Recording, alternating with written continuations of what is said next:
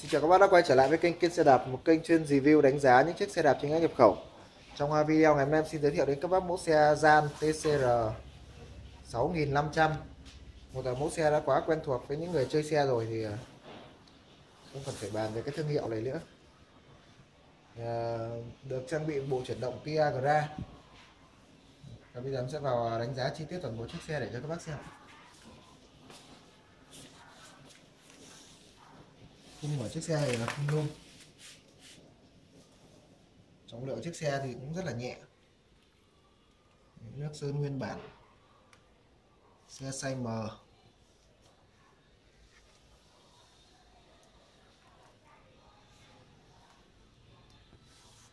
Đầu tia ra. Đùi trục rỗng.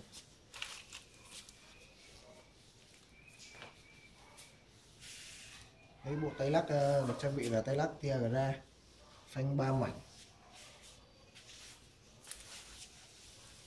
Đồ đạc chính hãng của Gian. Vành TCR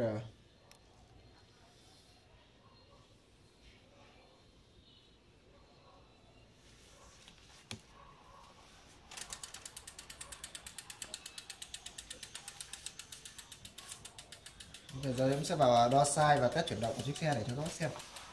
Rất nhiều bác hỏi em về cái giá bán của chiếc xe là bao nhiêu thì các bác em đã đề ngay ở cái chỗ tiêu đề là Các bác ấn mũi tên trỏ xuống vào là cái giá em đã đề đây luôn này. Còn nếu mà em không đề giá thì tức là xe đã bán. Cái thứ hai là một số bác bảo là không thấy YouTube gửi thông báo khi mà em đưa lên xem xe mới lên trên kênh ấy thì các bác ấn cho em cái chữ đăng ký. Chọn ấn chuông, chọn tất cả đấy, thì nó sẽ gửi tất cả các cái thông báo khi nào bên em cứ có xe nào đăng lên trên kênh thì nó sẽ gửi cho các bác vào thông điện thoại nhá.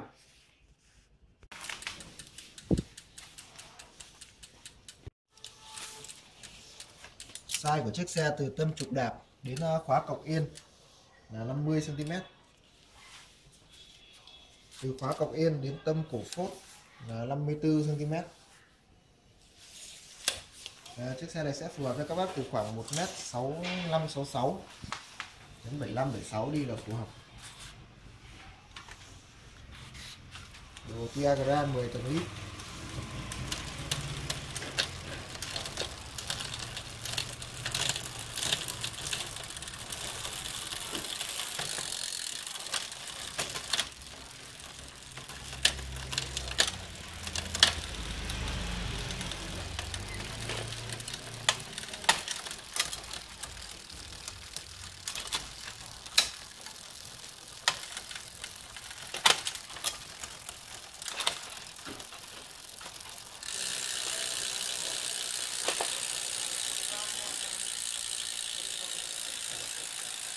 Vâng, và chiếc xe đang có giá bán bên em là 10 triệu 8 bao ship toàn quốc cho tất cả các bác chuyển hết tiền.